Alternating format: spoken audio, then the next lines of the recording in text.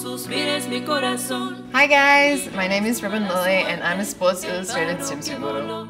No es el paro que te divierte. So when I found out about my third year, I was very excited. I love the team, I love the people, and it's a lot of fun. The tunnel shot was kind of cool because uh, I think Ruven wanted to use my height and my body size to the shot's of advantage and you know I'm all for like a powerful shot and these are the images that are going to last the test of time. I love dancing but I think I was just confused because everyone was watching me and I had no music at first but of course you know MJ and Darcy they came out and danced with me so I didn't look so crazy on the beach by myself dancing.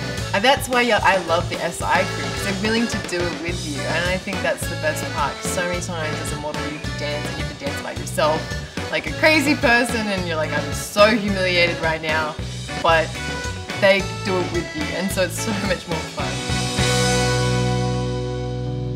Everything's detailed um, with Ruven as he takes what could be a very simple shot and he just makes it so much more. He makes it so much more elaborate and artistic. He's coming!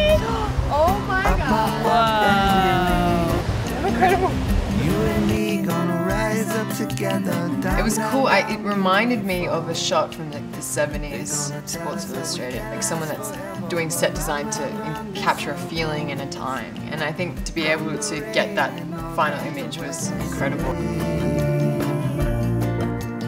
got it. It's awesome. Joe did the makeup, Santiago, and look at it. So incredible. Oh my god. They did an awesome job. That's a wrap.